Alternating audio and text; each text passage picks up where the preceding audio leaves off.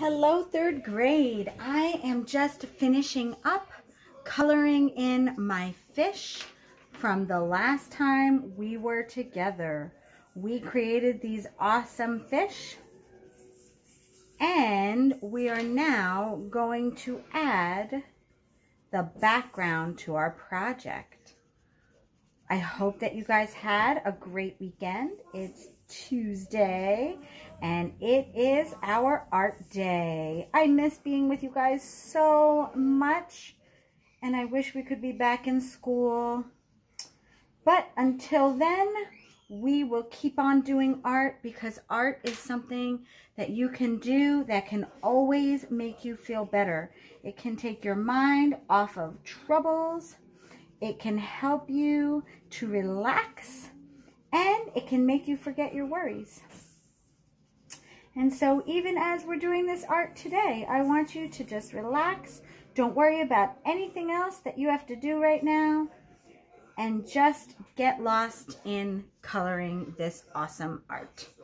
All right, so for today, what we have to do is we have to do the background and we're gonna add some details. Okay, so for starters, our background is going to be cool colors. We decided that the fish were going to be warm colors and the background is going to be cool colors. When you look at your color wheel that you guys remember you made with all the objects, when you look at your color wheel, you'll see all the warm colors are on one side and all the cool colors are on the other side. This is a look at the finished uh, project that we're going to do. And in each box, I'm going to choose two colors, two cool colors in each box. And I'm going to fade from one to the other. The other word that we can use for that is called gradient. I'm going to make a gradient from one color to the next. So the first thing you're to do is get your fish paper out. You should be up to this point. If you're not up to this point, then take a moment, pause the video, and color your fish with warm colors. Yellow, orange, darker red orange, red, and I have like kind of a, a pinkish red, which I love. And so that's your gradient for your fish. Now, the second thing we're going to do is we're going to color in the background. Some of you guys made your fish small. Maybe you want to get a piece of of printer paper and just use the whole paper instead of making them so tiny. If you made them tiny and you want to keep on going with that size, then draw a rectangular box around your fish so that you can create these little puzzle pieces and divide your background into segments. Okay, the next thing I'm going to do is I'm going to put all of my warm colors on the side and I'm going to get out my cool colors. What are my cool colors? Blue, indigo, turquoise, purple, any color violet, and lavender, green, all different color greens, light green, dark green, yellow green, and I said the blues, we got the blues, and that's everything. So what I'm to do now is I'm to take two colors. I'm to take light green and dark green. And I'm to start in any, any shape. So I'm to start with this one. Okay, it's like a four-sided shape. And I'm to start with the lighter color.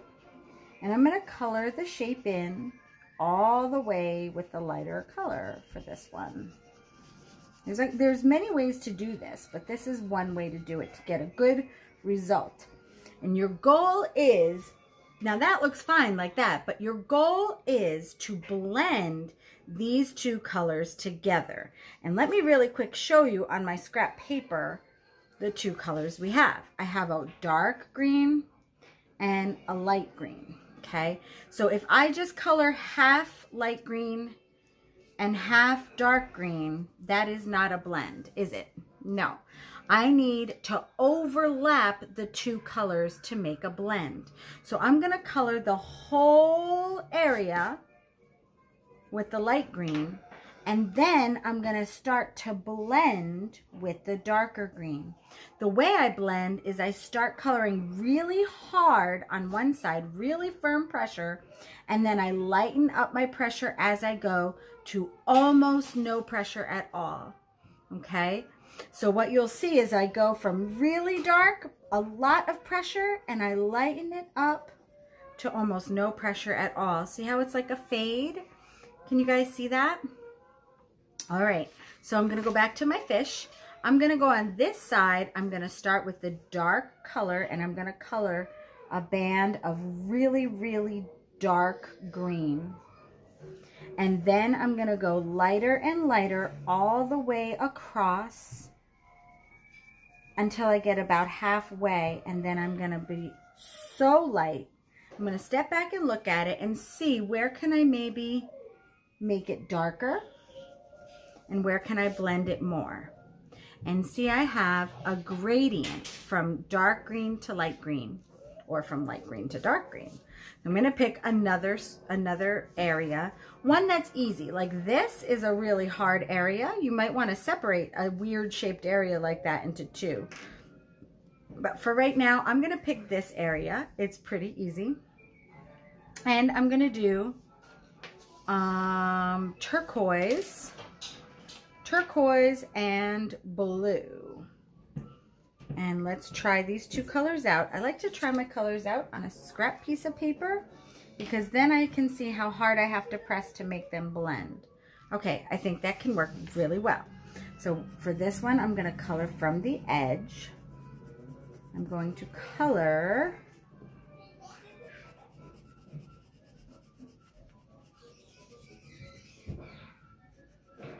color the whole thing.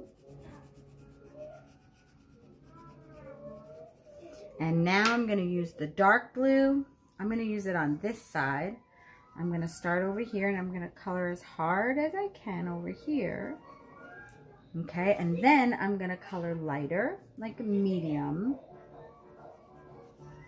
That's medium. And then I'm going to color really, really, really, really light right here. And that's where I colored really light. And you see it's a fade from one color to the next. Okay, now I'm going to start with blue here, really dark. This is the second way I can do this, is I'm gonna color really dark, and then I'm gonna color medium, and then I'm gonna color light. And then I'm going to take my second color, like I think I'm going to use lavender for this one. This is like a pretty color purple.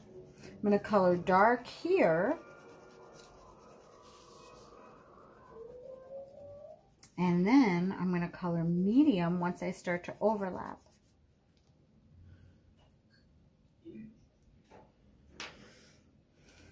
color medium really, light. And see, right here is where I made the switch and where the blue and the purple are going together. So it's a second technique that you can use. And the second technique, the first technique is probably easier to do, but the second technique will give you better results. So it's up to you the way that you want to do it. Um, I'm giving you the choice and the option of how to choose how you want to do it.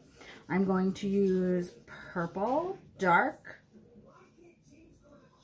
This is a little bit darker of a purple, like a violet.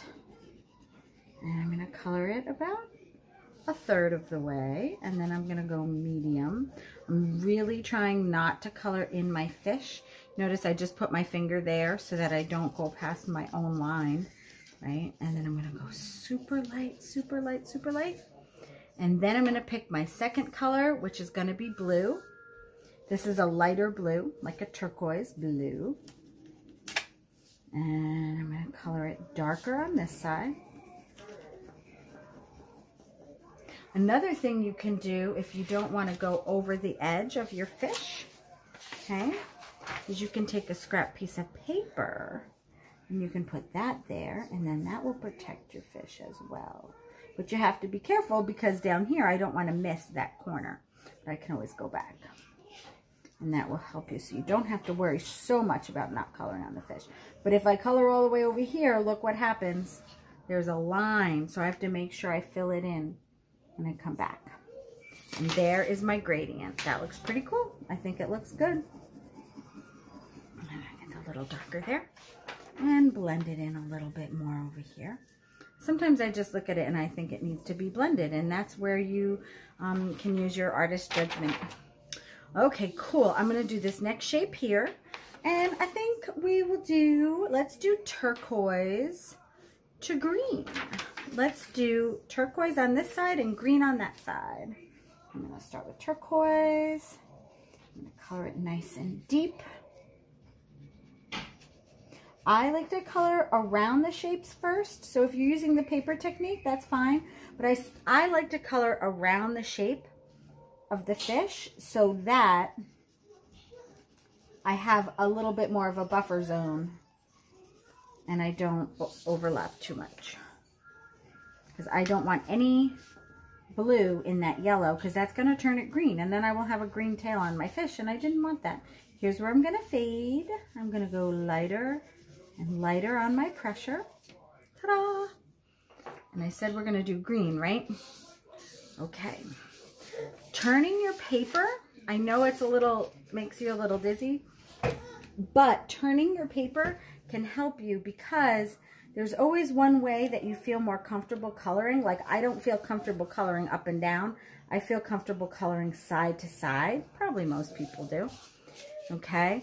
And that is going to help me so that I feel most comfortable and then I can do my best work. Okay. Now I'm pressing, I was pressing hard. Now I'm pressing medium, which is hardly at all. And then when I press light, I lift it up so that I don't feel it at all. I don't hardly put any pressure on. Medium. When you're working with a lighter color, it's easier. When you're working with a dark color, mm, it's a lot, it's a lot harder. So you have to be more careful. Okay, and we're to do this with every single piece of your background. And that's how you're to finish this video up. I said this video, I mean this project. That's how you're to finish this project. I'm to work on some green. This is a super dark green. I think it is so, so rich and beautiful color. Okay, look, nobody's perfect. I colored over the line. It happens. Do your best. And the thing is, is as you practice coloring, it's going to get easier and easier. When you, if you haven't colored in a while, you know, some of us haven't colored since we were young. If you haven't colored in a while, then pushing light on the crayon is not something that's going to be easy for you. You know, sometimes we have to practice. And the more you practice, trust me, the easier it's going to get. And the better your results are going to be because your hand is going to be stronger and you're going to have more control. I really like that blend. It is very, very cool. Okay, so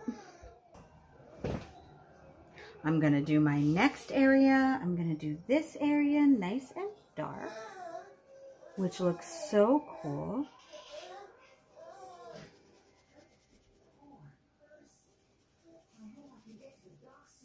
make it as light as I can. This is a dark color. When I use a dark color, it's hard to get it to be smooth, but try your best. And I'm going to use lavender on the other side. See how that blends.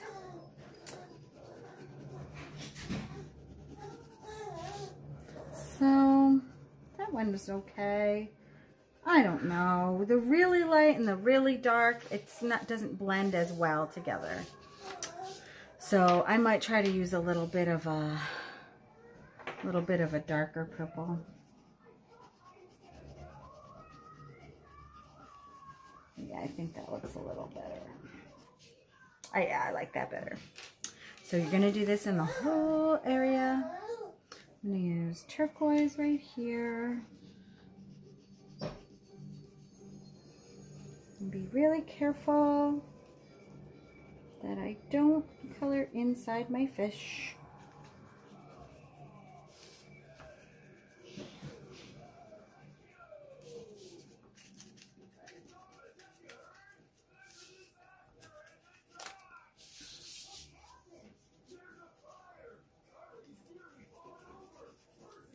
And I am to use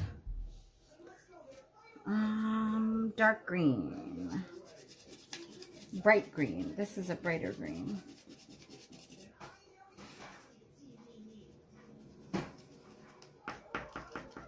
The edges are hard because it wants to fold back up. But if you hold on to it, then you'll have an easier time.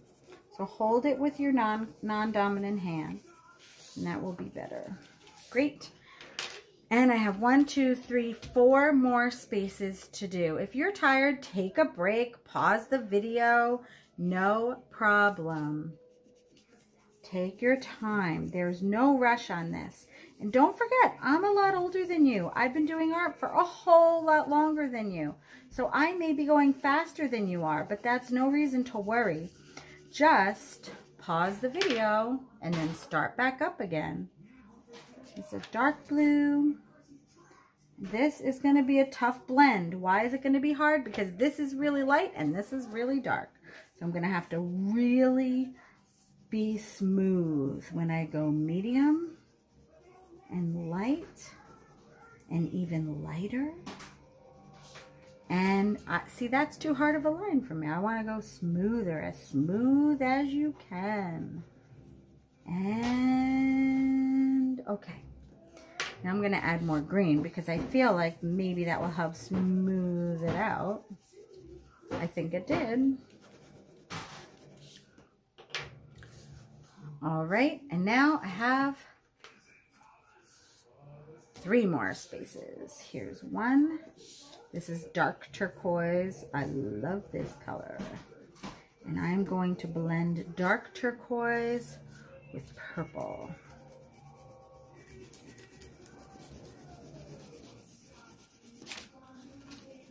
That light. And then turn it around so I can color sideways again.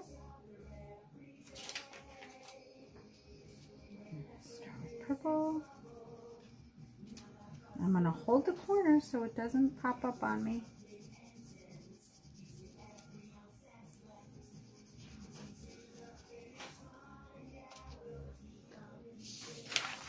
Ta-da!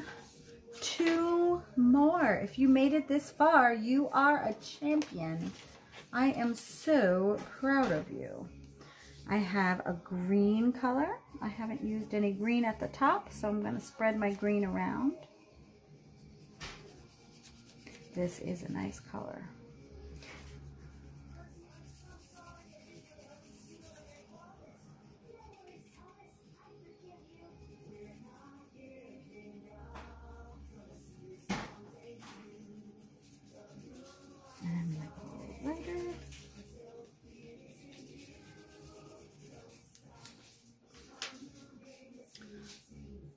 Other side of this, I think I'm going to use light green. I think that will be cool. It'll be a nice blend.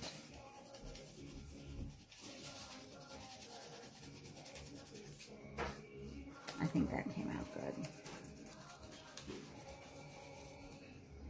And remember, when we put two, one color on top of each other, it's called layering or overlap. When you do it with paint and you, you put one clear color on top on top of a another color it's called glazing. And that's a whole nother kind of technique is when you're doing it with paint. We're using layering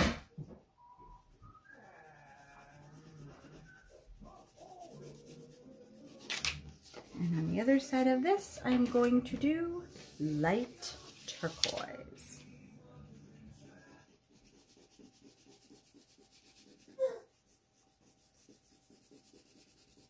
Okay. Now, if you go back and look at our inspiration artist's work, you're going to see she had a lot of a lot of pattern. And the pattern created like a texture. And so we're going to do some pattern. We can use patterns in this in the form of dots, dashes, any kind of marks. And I'm going to let you use warm colors or cool colors. It's up to you. But I need contrasting colors. So over here, I'm going to start and I'm going to do little S's in a pattern. What makes it a pattern is I repeat the shape over and over again. Over here, I'm going to use little dashes. You like that? Jordan likes it. I'm going to use some turquoise over here.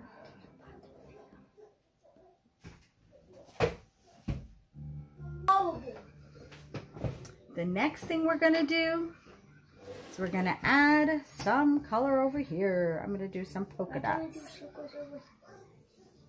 Polka dots? What do you want to do over there, Jordan? Circles. Circles? Circles. Like polka dot circles?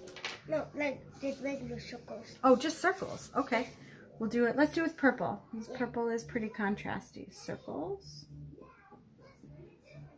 Do you like that? Uh-huh. We could add some like Small circles and large Mom, circles. we could add like some fancy coloring. Like Oh, for the fish, definitely. Fishes have like fancy things on Yeah, them. why don't we add some zigzags on the fish? The same mean do lines on him. Yeah. So you guys, you guys can go crazy. Yeah, go ahead, Jordan. Go ahead, do a couple of lines. Oh, cool. That looks good. I like that. I like that a lot. That looks nice. And I like working on it together because that's kind of fun, isn't it? Yeah. And what should we do for this one? Triangles? Would that be cool if that was triangles? Triangles? Yeah. Hmm, let's pick a contrasting color. Ooh, how about like Um, yeah. Triangles? yeah. We It's kind of a blending color, but I can still see it. I I like lime green and then put this over it. That'd be cool. Like Um, let's use this green. Let's use this For over here. side. Let's use this over here and let's make some squiggles. I can hear what colors watching. I think that looks cool. We can also use the boldest color and we can use black, especially on some of the dark areas. Black will really show up. Doesn't that show up? Yeah, like if you do black, you can never re-erase black. Again. That's so true. So true because it's very Except dark. if you have white, it just re-erase black. You know what I mean, Mom? Yeah, you're Oh. right. Unless you paint it over it with white, right? Yeah. Yeah, absolutely. That is so true. And I'm going to do some stripes right over here. I think that looks cool. And you're going to add all of the stripes, all of the designs that you can think of. Okay, and I cannot wait to see how awesome your designs look. And with that being said, I am going to finish this up and I can't wait to see what you guys come up with.